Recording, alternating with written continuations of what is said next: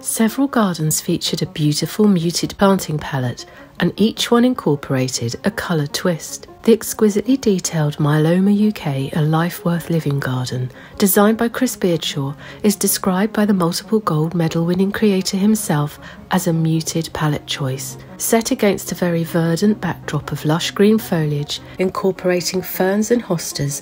The predominantly cool toned planting palette includes Aquilegias geraniums, foxgloves, peonies, salvia, Siberian iris, and tiarella. The floral themed stencil effect on the temple walls softens the architecture with allusions to fabric designs or a wallpaper print. Hard landscaping is softened with mounds of Irish moss. The garden showcases distinct pools of colour rather than intermingled drifts, and this was a really effective planting idea to take away, showing how a muted palette allows each type of plant to be showcased separately while still maintaining overall cohesion. The twist came with the unexpected discovery of bright magenta in the scheme, giving amplified passion to the design without detracting from the overall softly enveloping and soothing vibe. This garden marks the 25th anniversary of Myeloma UK, a vital charity assisting people with incurable blood cancer, designed to offer a transformative space in which to find a sense of calm, reflection, hope, and resilience.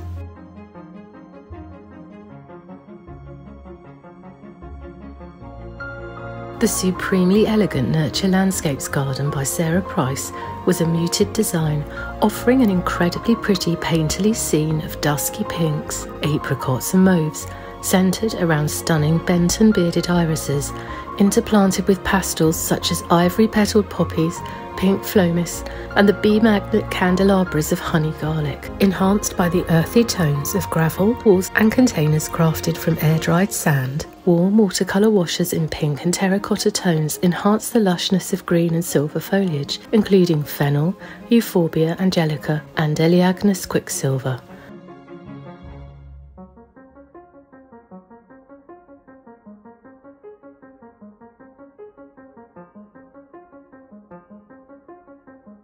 And the twist came with the deepest, darkest burgundy of Aeonium, which played up to the concept of light and shadow and balanced the darker tones of the Scots pine trees, which were pruned to resemble stone pines.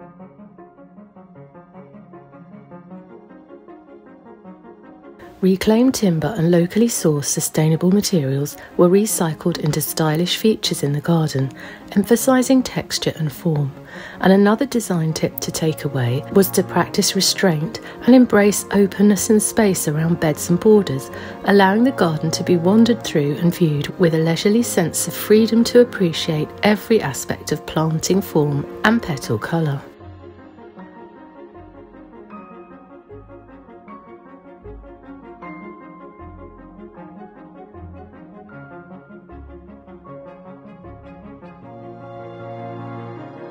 This landscape was inspired by the irises and 16th century home of artist and plantsman Cedric Morris.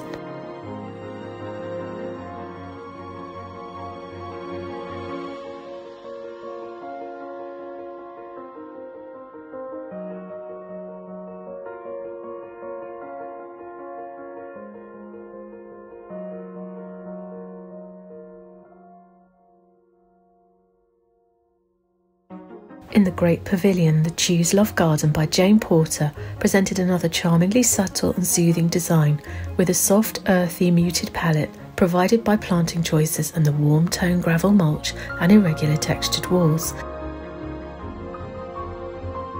This garden was inspired by the building materials and landscapes encountered by refugees seeking a new home journeying across migration routes in Europe. The sculptural dry stream bed embodies the duality of movement and permanence in the refugee's life.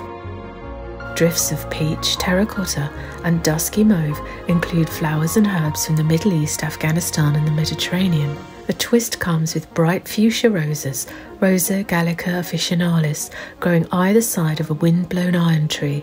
This has the effect of drawing the eye out along the far boundary and is a way to make small spaces seem larger than they really are, an idea that could be used in our own gardens. We also love the dreamy pinky peach Verbascum Helen Johnson, which is a long flowering period from early to late summer. Wool carder bees collect hairs from the stems and leaves of this plant for their nests, and this homemaking association is very apt given the theme of migrating peoples in search of safety and security and a new home. Gentle, soothing smudges of blue come from the narrow leaved salvia, and iris deep black adds further depth to the scheme.